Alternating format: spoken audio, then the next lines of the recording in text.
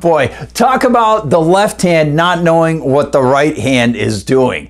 In this case, it's the leftist hand of the so-called Republican governor of Idaho, Brad Little, and the right hand of Idaho's Lieutenant Governor, Janice McGeachin, also a Republican, which came into conflict when Little left the state for a day and McGeachin took over to actually abide by the state and federal constitution by making sure no local government imposed a mask mandate.